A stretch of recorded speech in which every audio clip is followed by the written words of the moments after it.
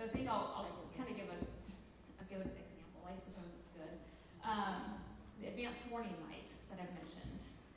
That, I mentioned can be three to eight months because you can't just put a light in, it's gotta have underground electrical that goes to it so it connects to the RFB, which means you have to make sure you're not conflicting with utilities.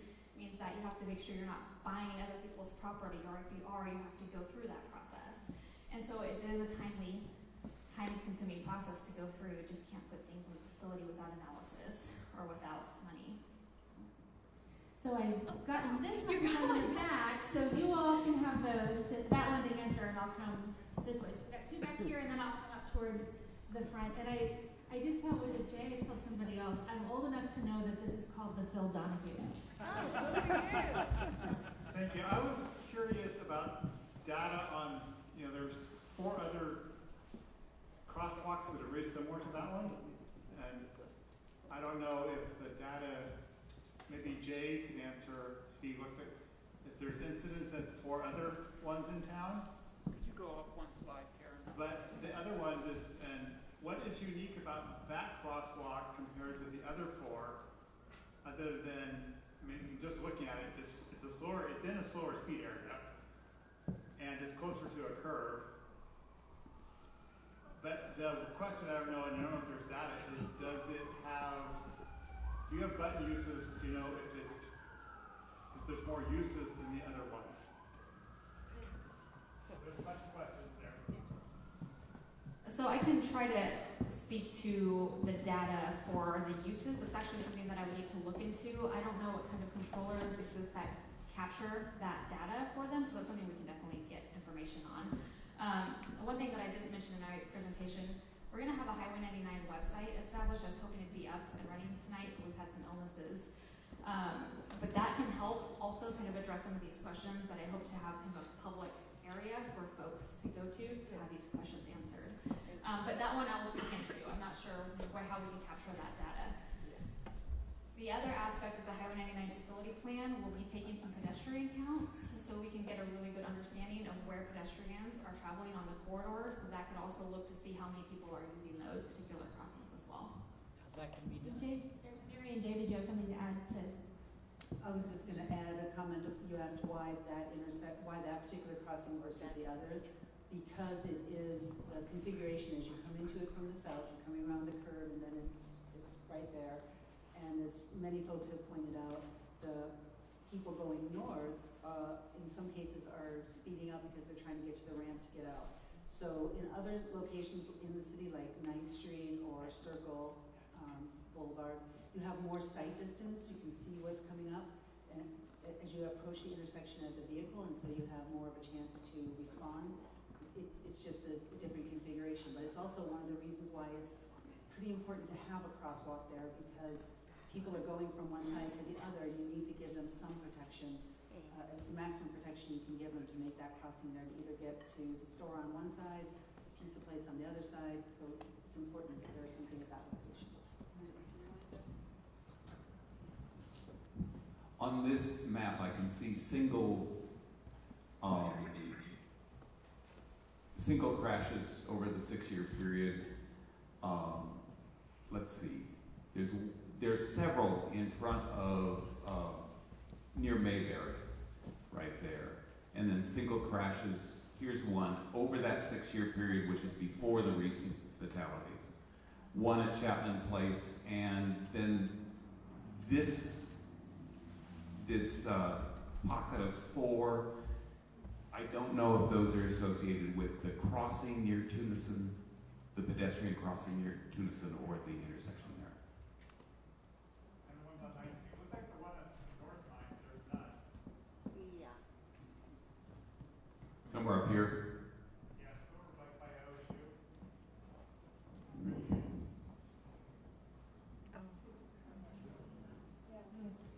Yeah, I'm not sure. And that might have been before the map too. All right, Okay, I want to know what the status is of the bike path behind the co-op, one. And I also want to know um, where Jeremy Gruber, I think is his name, he came out of the weird access from the homeless camps. Is there going to be some control of that access from the homeless camps? I don't want wanna make a big deal and make this about homelessness, but it's the access issue where pedestrians are trying to cross, not at Chapman, but farther north, cause there's a, an access cut, like a place to walk and to take a, a wheelchair, so it makes it look like people should go there. So is that gonna change? I'm gonna start with the update to the bike path that's going on the east side. Uh, we are currently in the review, permit review process within the city organization, so our community development department, uh, requires us to get permits for like erosion control and floodway, um, floodplain impacts. We are hoping to have that, we're, planning to have that, uh, project bid by May with construction to start as soon as we can get a contractor on board. So sometime in early summer with an end date still of fall twenty twenty, over the next summer period. And then the second part of your question regarding that access to the north. Um, so we have a ADA, American with Disabilities Act project that will be going on in next year. We'll be replacing the ramps along the Highway ninety-nine corridor. Um,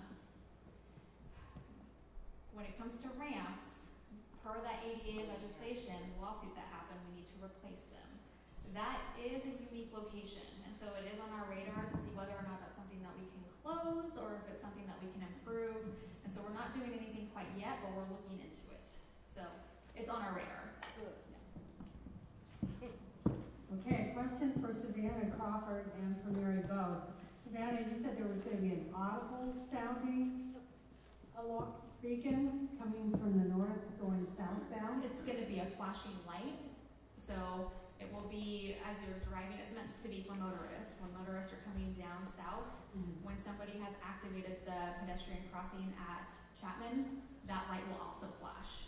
Okay, so, um, also, the, I've got twenty twenty vision, and those little speed reader signs are pretty darn small. I think you need a larger reader signboard, you know, kicking out the speed.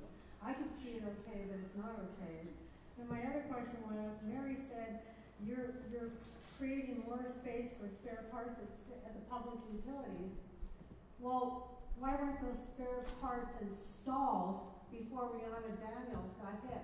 That light sat there, and it was mowed down. Why wasn't that replaced? Was that your responsibility, or was it ODOT's responsibility?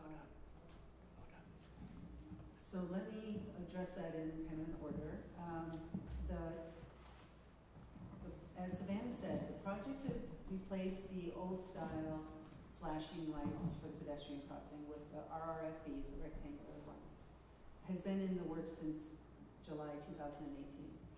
Um, when that, uh, signal was knocked over in August of 2018, 2019, sorry, we were, um, on the cusp of getting the RRFBs in. And so we looked at what it would take, because like I said, we've often had more than one signal down at the same time. We didn't have anything in our inventory when that light got hit. And so we looked at what it would be the lead time to get the old style signals back versus what was left in the project to get the RFBs, which are safer and the better alternative. And at that point in time, the, the timeframe was like within a week of each other, and so the decision was made to, um, dedicate the staff time and the resources pushing as fast as we could on the RFBs to get that project complete and, and improve the safety at- while at the same time as the re- as replacing the lights. Well, it's funny how that happened right after Rihanna got hit.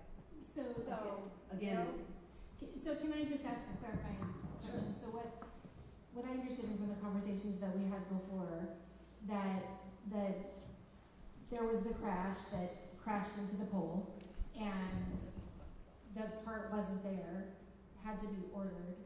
We couldn't do the contract to put the R, R, the flashy things up until the pole was installed, until the hardware and the part was, was there. And the difference in how long it took the manufacturer to get the old part versus the new part was a, was a week.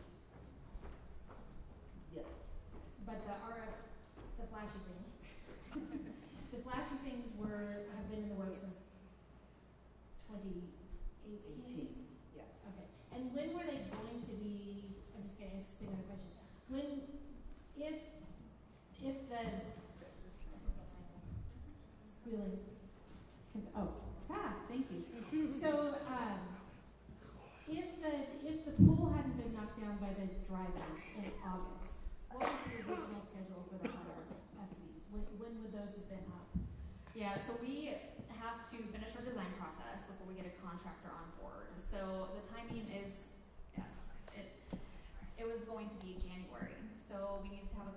on board, getting that contractor in place.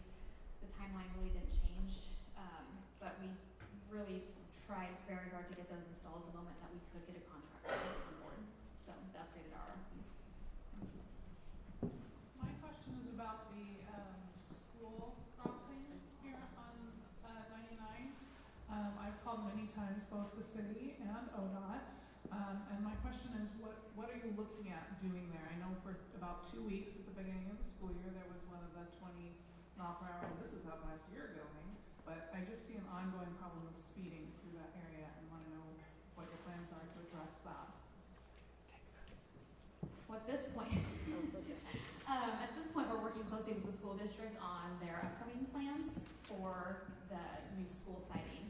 And so we've already met once with the school district. We're going to be meeting with them again, I think it's next week, to continue the conversations. And so we are definitely aware and trying to coordinate on the upcoming design. What's the Yep. bottom line?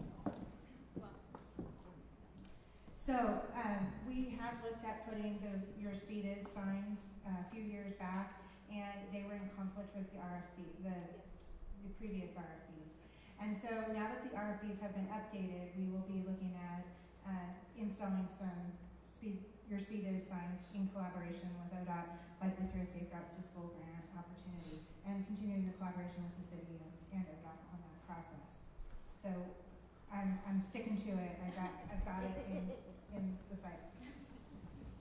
And don't panic on time, I see all the, all the hands and I'm gonna get through to, to everybody, and we've still got a lot of time, so we're not, we're not running short. First, I want to thank all of you for meeting and for coming.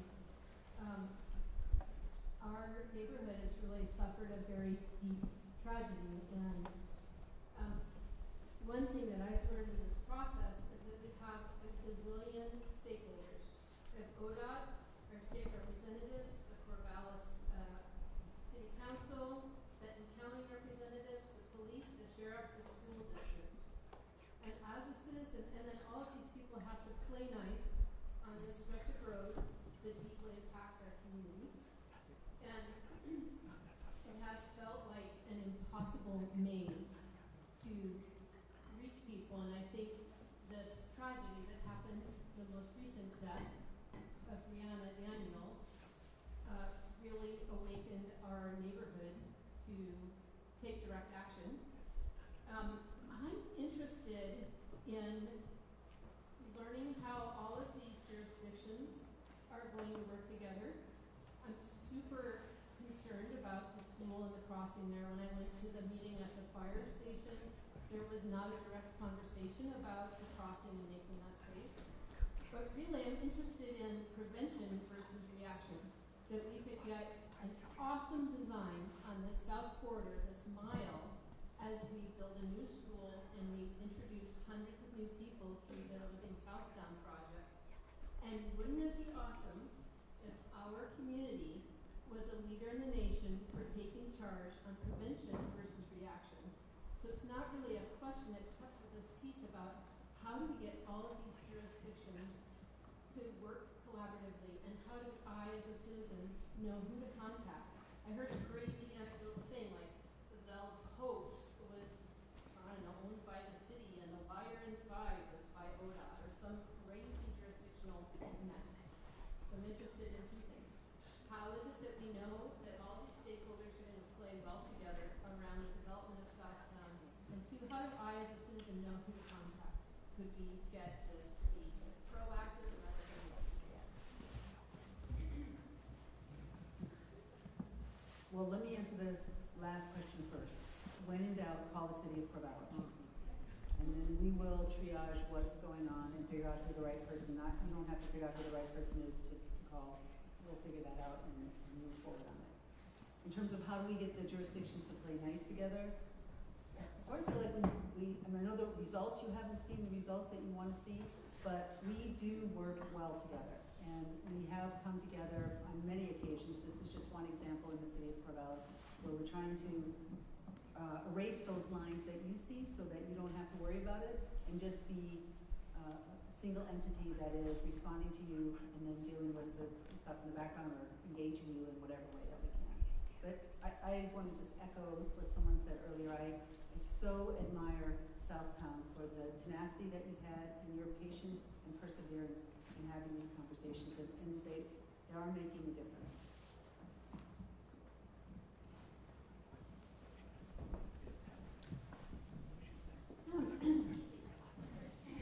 Yes, I'm just curious, um, I went through the pedestrian walk, um, on, down there by Walmart when they were first installed. And the first thing I did was look to see whether I could walk or not. And you can't, I couldn't visually see whether the lights were actually flashing. And I don't, I don't know if they're all the same throughout town or not, but I saw it again happen here on ninety-nine, like two or three days ago, where a lady with her little kid was walking, and she was looking to see whether the lights went off. I had stopped because I saw them crossing, but the lights never went off. And she went, because she couldn't tell whether they were going or not. She assumed that it was going. So I guess I'm curious why there's no visual for the actual pedestrian. I'm assuming at night you can see them because it's dark and you can see the lights. But during the day, you can't see whether they're actually working or not. So that is something that has been brought to our attention. The intent, obviously, for the RFBs and the flashing light is really for the vehicles to stop right and see them. So one of the things that we have heard, I think the city of Portland has implemented these, where maybe there's a light in the center or maybe on top of the pole that can flash as well, so the pedestrian can see it. So those are something that we're looking into, that illumination plan that I mentioned earlier. Um, because, yeah, it is a little bit, yeah, you want to be able to see it as well, so, sure, yeah. So just to add to that though, um, what Savannah mentioned at the beginning, the lights really are for the cars, not, not the pedestrian. And what we don't want to encourage is somebody sees that the lights are flashing and assumes that now it's okay. The safest you can possibly be is to make eye contact with that driver and know that they're stopping. And that's, we just want to maintain that as, the mechanism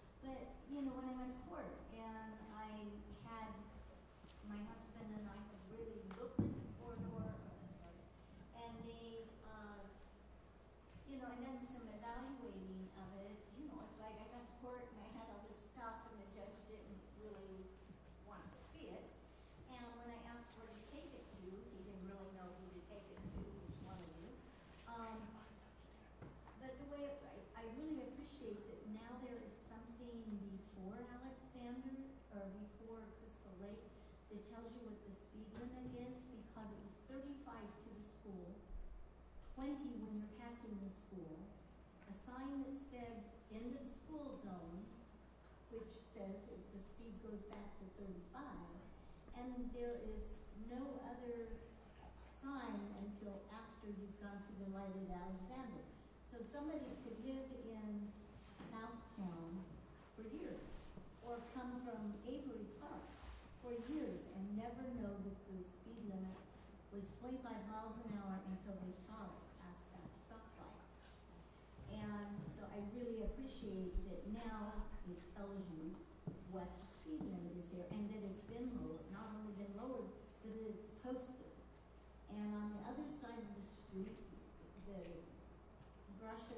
cleared out, because you had a sign saying there was a split in the road, which was in line with, uh, I forget what the next one, next sign said. And then there's a twenty-five mile an hour